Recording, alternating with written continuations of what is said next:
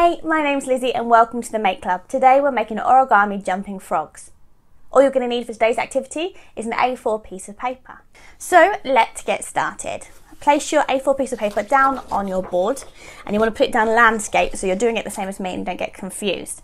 And what we're going to do is we're going to make a triangle uh, from the top piece of the paper. So you're going to take one corner and you're going to match it across the edge.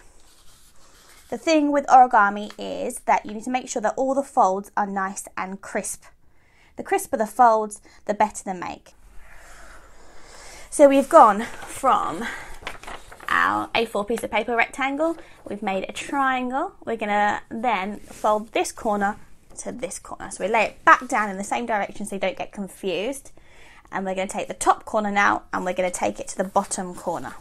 Okay, so this is creating sort of the head of um, your froggy shape. Just to recap, we've gone from the rectangle to the triangle to the triangle. Lay that down on your board, unfold it.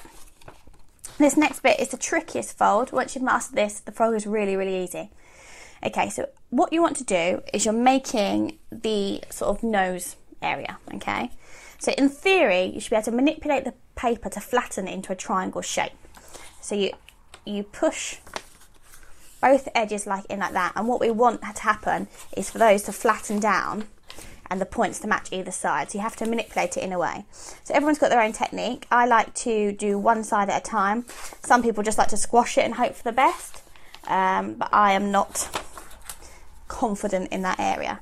So I take one side, fold it down, one side, and fold it down.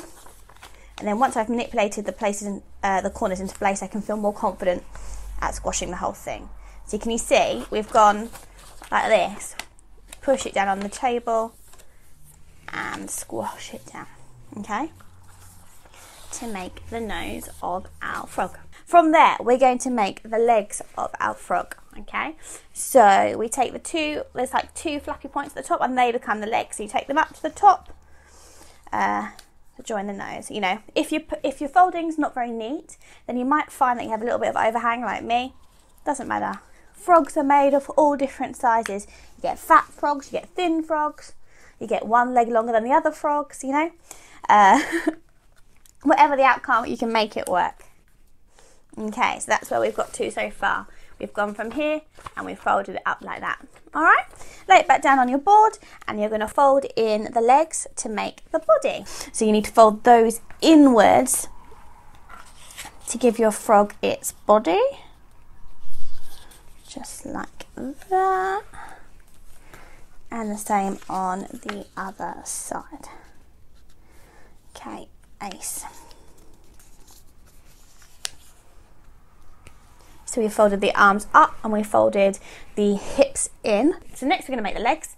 They are a concertina fold. I'm sure you've done a concertina fold at school before when you're making a fan or um, you know a decoration. So basically, the more folds you give the legs, the higher that they will possibly jump. Okay, so you want to kind of start off with quite a, uh, a small amount of paper. So I'd, I'd say about like your fingernails distance, and you're going to fold it up like so. And then you're going to flip it over and do exactly the same fold on the back. Concertina it up to where the legs join the body. Okay, so keep going nice, crisp folds. Okay. Keep it going, keep it going, keep it going, keep it going. Okay, and that is it. So I have taught you to make a origami jumping frog with an A4 piece of paper, which makes a bigger frog. Now there's no reason you can't scale it up or scale it down. So if you want to make an itty bitty frog, you just need to do exactly the same thing, the same process, but you need to use a smaller piece of paper, a smaller rectangle. Likewise, if you wanted to make a huge frog, you could grab um, sort of a broadsheet newspaper and, and fold it to make a large one. I've also decorated mine with googly eyes because I love a googly eye, but there's no reason you couldn't use a, a felt tip or cut out some scrap paper and stick them on and get yourself creative. Yeah, I'd love to see what you guys make at home. Thank you so much for watching the Make Club. If you've liked what we've done, make sure you give us a like at the bottom of the screen. You can follow us on Instagram at Lizzie underscore club make. Thanks for watching and I'll see you again soon. Bye!